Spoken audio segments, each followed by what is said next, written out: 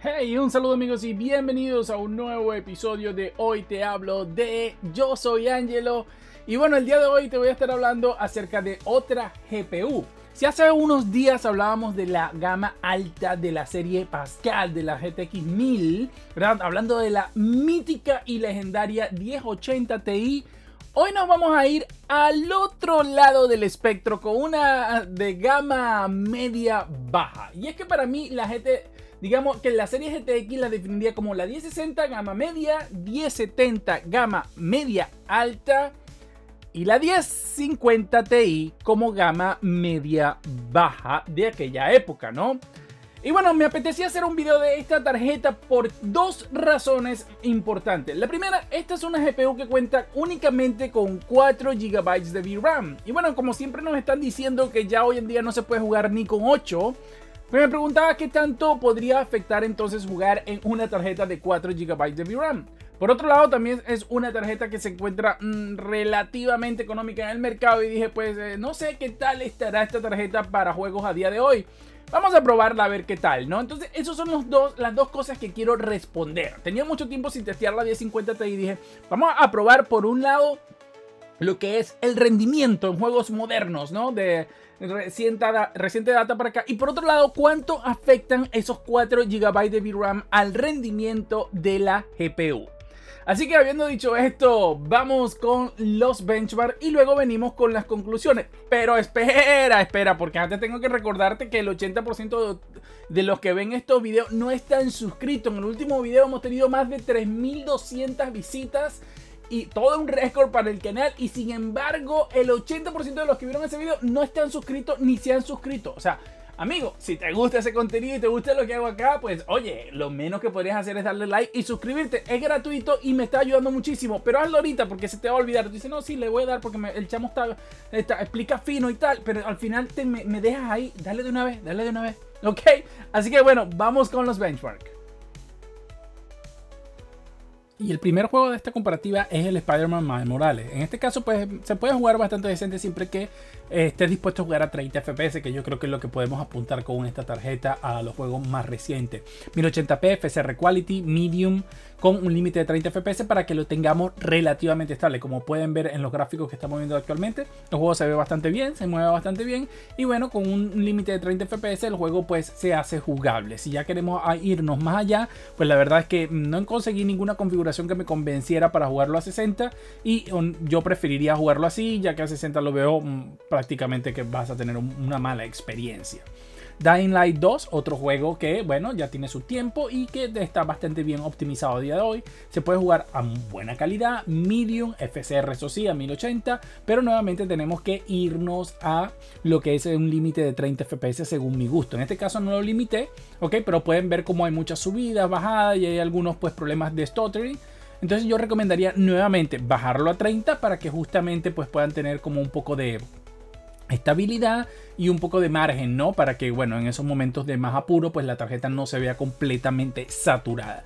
De ese modo, pues se puede tener una experiencia relativamente correcta con este juego a 30 FPS. Ya saben que eso está bastante bien. Otro juego bastante bien optimizado es el of Tsushima, que en este caso también lo he limitado a 30 FPS, ¿no? Con el VSync del juego. Y como pueden ver, pues no va para nada mal. He usado el XeSS Balance para mostrarles que, bueno, que la tarjeta nos permite también utilizar eh, y no solo FSR en este caso. Y pues como los resultados siempre me han parecido mejor, pues creo que es una alternativa válida. El juego aquí está funcionando a 1080p con el medium preset, eso sí, limitado nuevamente a 30 fps. Y esto es algo que vamos a ver constantemente aquí, que yo creo que ya 1050 Ti para los 60 fps no está, o sea, olvídate de ella. Tu límite te eran 30 o si acaso 40, dependiendo cómo lo quieras configurar y si tu monitor lo permite.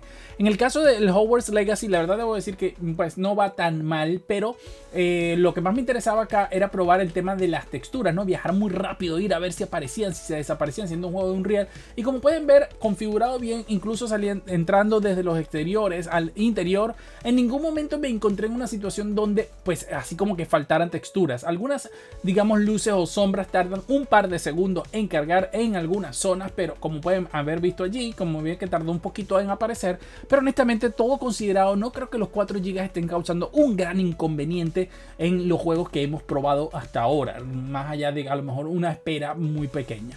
Este ya es uno de los juegos más modernos que he probado y bueno... Mm, Mire, aquí estoy tratando de, irme un poco lejos, pero estamos jugando a 900p con FCR en balance, con el low preset. Y pueden ver que aunque llegamos a un momento donde estamos viendo el cielo a 50 o casi 60 fps, cuando eh, llegas a cualquier otro punto baja a menos de 30. Este es el primer juego que yo diría que en esta GPU para mí no es jugable.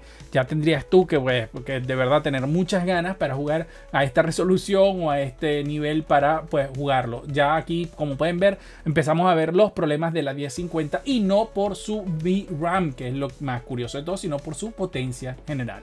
Sin embargo, habiendo probado ese juego, pues también esperaba que en el caso de The Last of Us Part 1 no iría muy bien la cosa. Sin embargo, pues la verdad va bastante mejor. En el sentido de pues, que como pueden ver, unos 30 FPS son logrables acá, usando 1080p FCR Quality con el low preset. Ahora ustedes preguntarán, ¿por qué no te fuiste a FCR Balance o te fuiste un poco más agresivo? Pues creo que no hace falta, honestamente, porque eh, pues si ya igual no vamos a lograr 60 FPS o 40 FPS, pues para qué dañar más la imagen, ¿no? Si nuestro límite es 30, vamos a tratar de aprovechar y tener la mejor calidad posible justamente a esos 30 FPS. Entonces, pues en este caso lo mantengo en FSR Quality y debo admitir que en este caso, pues los resultados fueron mejor de lo esperado. Pero cuando llegamos a Starfield, ya, aquí les digo, imposible. Unos 15 o 16 FPS era lo máximo que lograba. Aquí estoy usando 1080p, FSR del 50%, low preset y además he encendido el frame generation, que en la mayoría de juegos, en algunos casos, nos daba peor rendimiento que sin esto. Pues la tarjeta no tiene suficiente capacidad para moverlo. En el caso de Starfield, hemos duplicado los frames y debo reconocer que el juego, a pesar de que internamente va a 15, pues es más jugable de lo que parece, ¿no? Y si estás muy desesperado, pues podrías hacerlo, aunque se siente el lag. Por el estilo de juego no me pareció algo particularmente exagerado.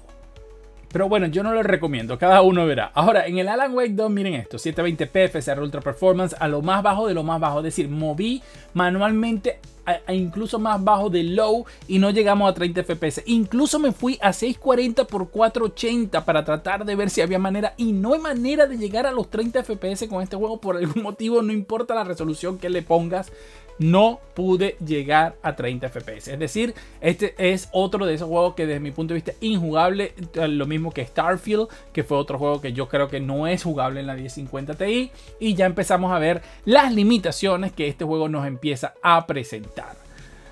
Además de esto, sumado, pues tenemos el Avatar, otro juego más que no podemos jugar acá. Imposible, es otro juego que, pues la verdad, no va bien. Incluso a 720p, FSR Ultra Performance, con el preset que lo he mm, manualmente bajado al mínimo de lo más mínimo que da. Y aún así tenemos una media de unos 25-26 FPS, ¿no? Eso quiere decir que incluso tengamos a tener momentos que van peor. Y no es lo mismo tener un juego que te va a 60 y te baja a 50 cuenta que tener un juego que va a 30 y te baja a 20. En este caso es otro juego que no es jugable en la 1050 Ti. Ok, como han visto, aquí hay dos cosas que responder, que fueron las preguntas que nos hicimos al principio.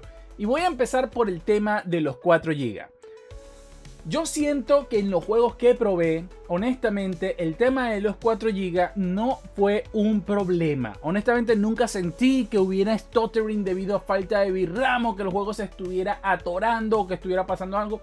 Porque claro está, jugábamos los juegos en low, ¿no? Jugábamos los juegos la mayoría en low, algunos en medium, pero siempre tratábamos un poco de respetar el tema de la VRAM. Y como ustedes pueden ver, pues también parece que Nvidia gestiona muy bien el, el, tema, porque hemos visto juegos que en otras GPU utilizan como tal, utilizan mucho más, y aquí utilizaban como menos. No sé si tiene algún sistema de priorización de datos para entender qué tienen que tener allí, pero no siento que la VRAM, al menos obviamente con la configuración que estaba usando, si hubiera utilizado algo como High o Ultra, probablemente hubiera sido un problema, pero no siento que haya sido realmente un inconveniente tan importante. Por eso cuando me dicen que no, es que ya con 8 no se puede jugar, no lo veo tan así. Creo que evidentemente una tarjeta de cierto precio y de cierta gama no debería venir con 8 GB. Pero si tienes una tarjeta de 8 GB o te vas a comprar una de 8 GB, en la medida que sepas configurar el juego, la RAM no debe, la VRAM no debería ser un problema importante. Pero habiendo dicho eso, entonces, eh, la 1050 Ti. Como pueden ver, hubo algunos juegos que no nos podemos quejar y se comportaba más o menos decente.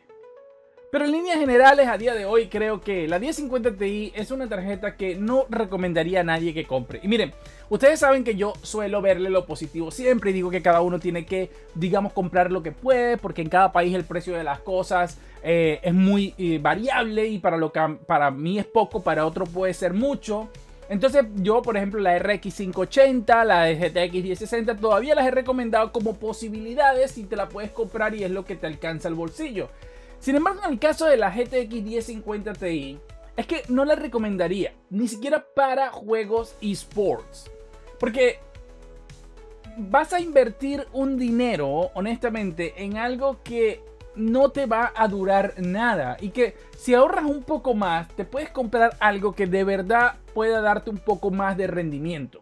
Entonces, a veces por muy barato que algo esté, no dejarte llevar y eh, gastar más te va a hacer gastar menos a la larga. Porque si te compras esta hora para medio correr algunos juegos, sobre todo eSport o algo así, cuando quieras correr cualquier otra cosa no te va a funcionar y vas a sentir que esa plata estuvo botada. Entonces vas a ahora a empezar a ahorrar otra vez para comprarte otra gráfica para reemplazar esta. Ahora, claro está. Si tú la consigues muy barata y la quieres únicamente porque es una máquina que no tienes intenciones de usarlas para juego y lo que requieres es como un mínimo o algo así.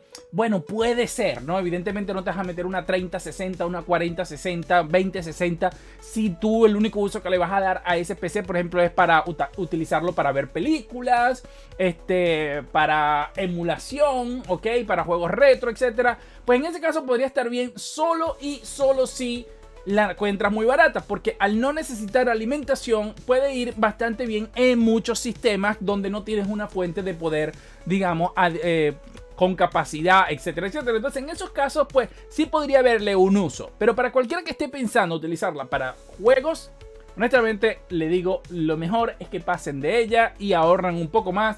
Porque la 1050 Ti en 2024, honestamente ya se queda muy, pero muy corta y honestamente es la primera GPU mucho tiempo que no recomiendo, ¿ok? A menos que la usen en los casos ya mencionados.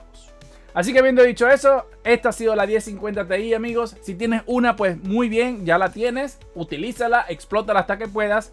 Pero si eres alguien que está buscando entrar a comprar, déjala pasar y búscate al menos, al menos una 1060 o una RX 580. Habiendo dicho eso, espero que este video te haya gustado y como siempre nos vemos en un próximo episodio de Hoy Te Hablo De. Hasta luego.